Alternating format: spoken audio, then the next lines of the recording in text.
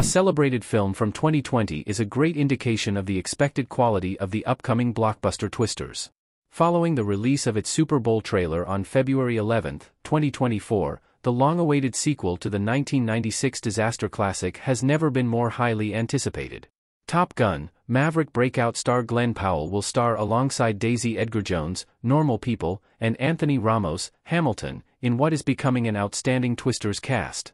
Twisters currently has a release date of July 19, 2024.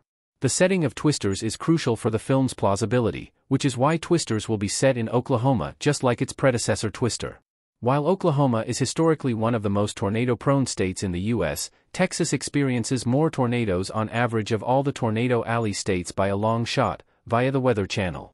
Still, Oklahoma is an ideal setting for the Twister sequel, and director Lee Isaac Chung has already demonstrated a sharp ability to capture these types of landscapes on film.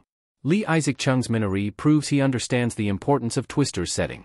Writer, director Lee Isaac Chung made the 2020 film Minari, which was partially set in Tulsa, Oklahoma, and demonstrated Chung's understanding of the American Midwest. The small, rural setting and overall feel were important aspects of the original 1996 movie, which could have been a concern for other directors who are unfamiliar with the realities of living in such an area. Minari already proves that the Oklahoma setting won't be an issue for Chung in Twisters. As a family drama, Minari has a much different tone than the disaster epic Twisters will have but provides glimpses of how the less intense or action-packed elements of the film could feel. Minari was critically acclaimed upon its release and was nominated for six Academy Awards including Best Picture, Best Directing, and and Best Original Screenplay. Lee Isaac Chung's Minari success is a great sign that the future of the Twisters franchise is in the right hands. Why Twisters setting will be so important to the movie. Daisy Edgar-Jones, Anthony Ramos, and Glen Powell looking in shock and awe at a storm in Twisters. Nailing the rural Oklahoma setting of Twisters is vital to the film's overall success since it is such an instrumental aspect of the story and concept.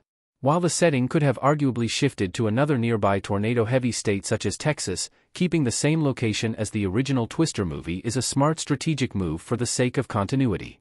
Lee Isaac Chung's understanding of the local Midwestern vibe in Minari will help Twisters feel more authentic and immersive, setting it up to be one of the biggest blockbusters of 2024.